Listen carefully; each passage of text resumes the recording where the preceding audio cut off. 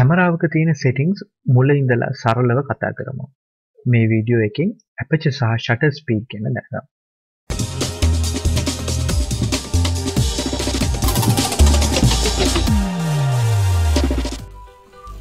ඡායාරූපයක් ගන්නවා කියන්නේ ආලෝකයට සංවේදිතයකට ආලෝකය වැටෙන්න සලස්වලා ඒ පිටපතක් නිර්මාණය කරගන්න එක. ඩිජිටල් ඡායාරූපයක් නම් ලෙන්ස එක හරහා එකතු වෙන ආලෝකය මෙන්න මේ වගේ ඉමේජ් සෙන්සර එකකට වැටෙන්න සලස්සනවා. ආලෝකයට සංවේදී ඉමේජ් සෙන්සර් එක වැටුණු ආලෝක නිසා ඇතිකරපු සිගනල්ස් ක්‍රමාණුකුලෝ ප්‍රොසෙස් කරලා ඡායරූපයක් විදිර ගබඩා කරනවා. මේ ඉමේජ් සෙන්සර එකට ආලෝකය කොපමණ ප්‍රමාණයක් වැටෙන් ඉඩ දෙනවද කියලා තීරණය කරන්න කැමරාව එහෙම නැත්නම් ෆොටෝ එක ගන්න පුද්ගලයා අන්න එතනදි තමයි මුල්ලින්ම අපිට කැමරයි සිටිංස් වැදගත්වෙන්නේ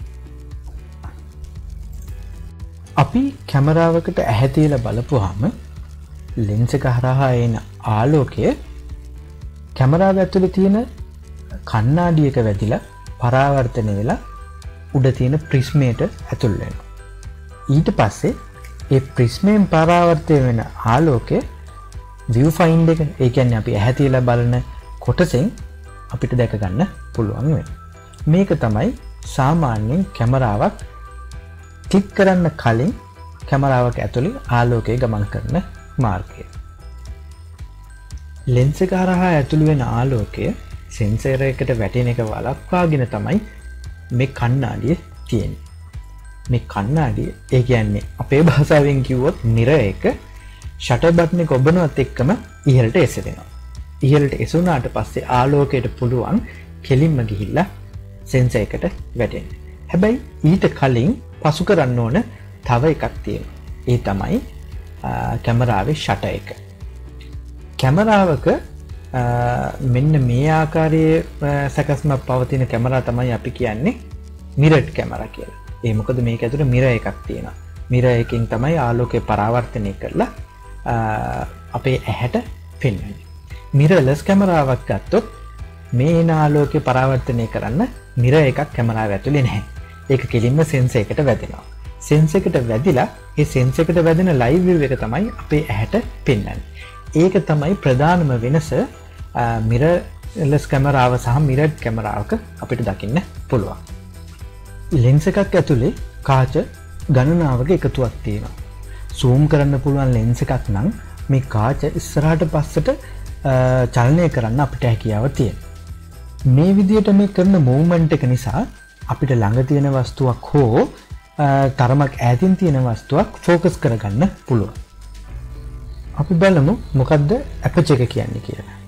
ඇපච එක කියන්නේ ෆොටෝග්‍රෆිවල්ට ඉතාමත් මැදගත් දෙයක් මේ ඇපච එකෙන් අපිට ගොඩක් දේවල් කරන්න පුළුවන් අපි කැමරාව අපේ ඇහැට සමාන කළොත් මේ කැමරාව තියෙන ලෙන්ස එකේ තියෙන ඉස්සරහා වීදුරුව අපිට ඇහේ තියෙන ස්වච්චය විදියට හිතන්න පුළුවන් මේකින් කරන්නේ වටේ තියෙන ආලෝකය ඒකරාශි කරලා අපේ ඇහැ ඇතුළට ඩිරෙක්් කරන එක ඒ වගේම තමයි මේ ඇහේ තියෙන කනේනිකාව ඒ කියන්නේ අපේ ඇහැයි ආලෝකය වැඩි වෙලාවකට හරි අඳුරු වෙලාවකට හරි ලොකු පොඩි වෙන සිදුරත්තියෙන් අන්න ඒ සිදුර කැමරාව තියෙන ඇපචකට සමාන කරන්න පුළුවන්. මේකින් වෙන්නේ ආලෝකයේ වැඩි වෙලාවල් වලට ඇපච්චකේ සිදුර පොඩි කරලා අපේ ඇහැතුළට යන ආලෝකය පාලනය කරනවා වගේම කැමරාව ඇතුළට යන ආලෝකය අඩු කරන්න හෝ ආලෝකයේ මදි වෙලාවට ඒක ඇරලා ආලෝකය වැඩි කරගන්න පුළුවන්. ඇපච්චකී සිදුර සීරුමාරු කරලා ඇතුළට එන ආලෝක ප්‍රමාණය පාලනය කරන්න පුළුවන්. සිදුර කොඩක් ඕපන් කරලා තියෙන වෙලාවක විවිධ පැතිවලින් එන ආලෝකයට කැමරාවතුළට ඇතුල්ලන්න පුළුවන්.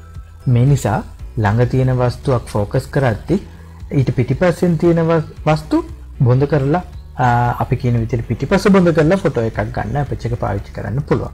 ඒ වගේම සිදුර කුඩා කරලා තියෙන වෙලාවට සරරයකී වෙන ආලෝකයට පමණයි කැමරාවතුළට ඇතුළන්න පුළුවන්. එතකොට බොහෝ වෙලාවල්වලට මුළු ප්‍රදේශයම ෆෝකස් එකේ තියෙන ඡායරූපයක් ගන්න පුළුවන්. අපිට මේ ඇපචක හඳුන්නන්න නම් කී පැත්තියෙන එකින් වැඩියම භාවිතාව නමක් තමයි F නම් එක කියන්නේ. මේකෙදී F නම් එකට එකෙන් පුළුවන් අපේ ඇපච්චගේ සිදුර ප්‍රමාණය අපිට කියන්න. උදාහරණයක් විදිහට ඇපච්චක ගොඩක් ඕපන් කරලා තිරන්න මේ උදාහරණයති වගේ F1.4 කියලා අපිට හඳුන්නන්න පුළුවන්. ඇපච්චක අපි තව චුට්ටක් වහනකොට මේ F නම් එක ක්‍රමාණුකූල වැඩිවෙන ඒකන්නේ අපච්චගේ සිදුර පොඩි වෙනකොට F නම් එක වැඩි වෙනවා. ඊට පස්සේ අපිට පුළුවන් අපච 4.0 5.6 8 11 16 22 වගේ අගයන් දක්වාම වැඩි කරගෙන යන්න. මතක තබා ගන්න ඕන දේ තමයි අපච එකේ සිදුර ප්‍රමාණය වැඩි නම් F නම් එක අඩුයි. සිදුර ප්‍රමාණය අඩු නම් පොඩි සිදුරක් නම් තියෙන්නේ F නම් එක වැඩි. F නම් එක වැඩි වෙනවා කියල කියන්නේ F11 වගේ වෙනවා කියන්නේ එන ආලෝකය ඇතුල්ට එන ආලෝකය අඩුයි. ඒ වගේම ඒ ඇතුල්ල නාලෝකෙ සරරේකීයව ලෙන්ස ඇතුල්ට තුල් වෙන මේ ඇපච එකේ අගේෙන් ඩෙප්තෝ ෆිල් එකට බලපෑමක් තියෙනවා.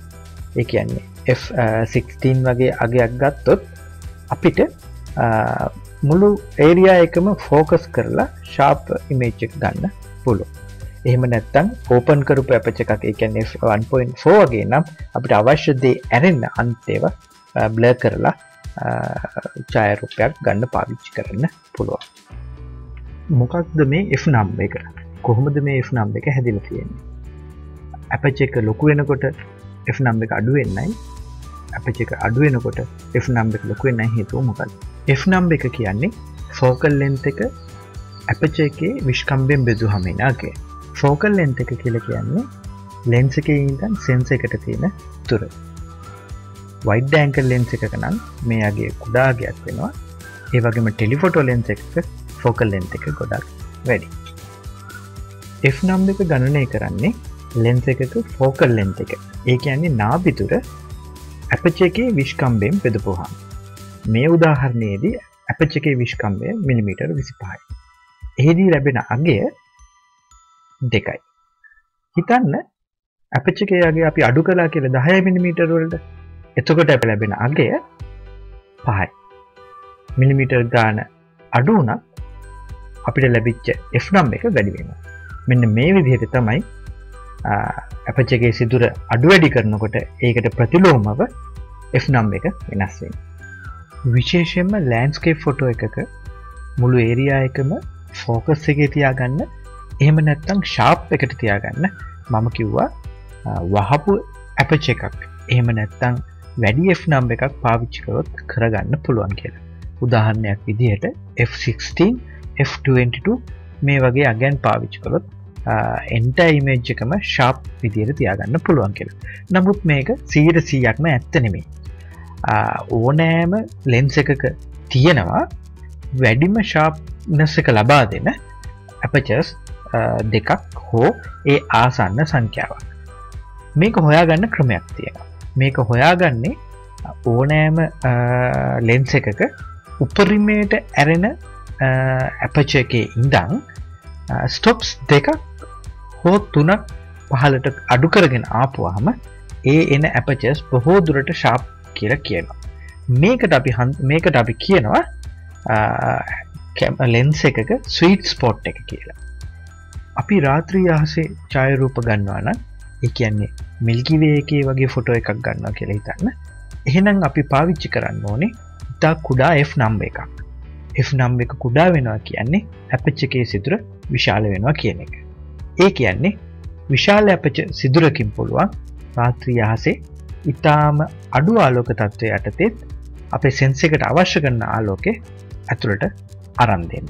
ඒ නිසා මතක ඇතුව ලෑන්ස්කේ ෆොටෝ එකක් ගන්නවනම් රාත්‍රිය අහසක මිල්කිවේ එකක වගේ කුඩා F නම් එකක් පාවිච්චි කර ඔබ රාත්‍රියක ලයිට්‍රේල් එකක් එහෙම නැත්තං සිටිලයිට්සල තරුවක් වත් ඒ කියන්නේ පාරයින තියෙන ලයිට් කනුවක තියෙන ආලෝකෙ තරුවක් වගේ ෆොටෝ එකට ගන්න බලාපොරොත්තු වෙනවා නම් ඔබට පාවිච්චි කරන්න වෙන්නේ ඉතා කුඩා වහපු ඇපච එකක්.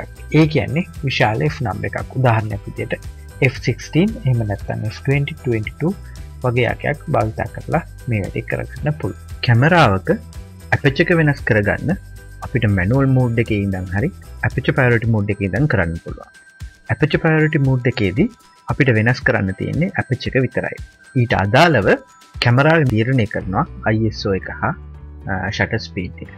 ඒවග මැනුවල් මෝට් එකේදී අපිට මේ තුනම අපිට කැමති විදියට වෙනස් කරන්න පුළුවන්.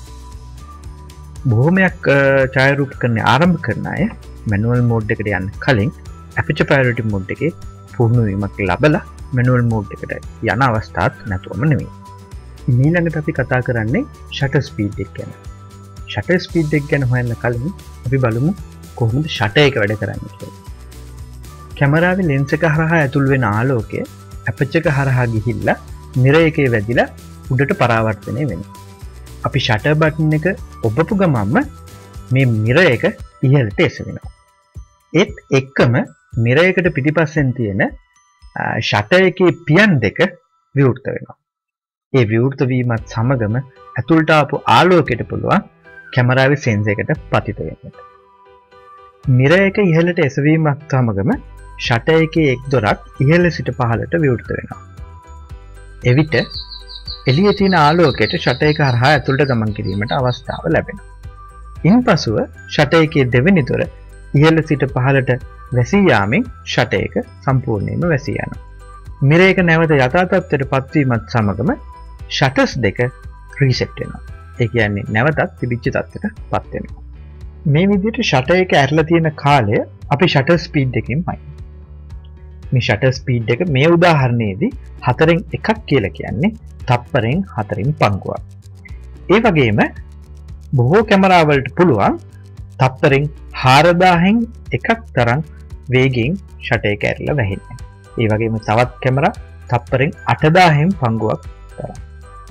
කැමරාවකට තප්පර තියක කාලයක් සඳහා ෂටය කැරගෙන ඉන්න පුළුවන්. එතනින් එහට යනවනන් බල්ප් මෝඩ් එක පාවිච්චි කරන්න වෙන්න. මේ සඳහා ෂට බට්න එක ඔබාගෙන ඉඳලා මේ සක්‍රිය කරගන්න පුළුවන්.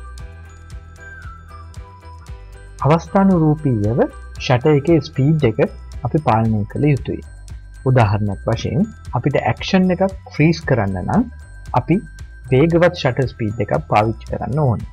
සාමාන්‍යයෙන් තප්පරෙන් දාහෙන් පංගුවක වේගයක් සහිත ෂට ස්පීඩ් එකට පුළුවන් වේගෙන් චල්නය වන කුරුල්ලෙක් එහෙම නැත්ත ක්‍රීඩ එක එක චලනයන් ෆ්‍රීස් කරලා ලබාගන්න.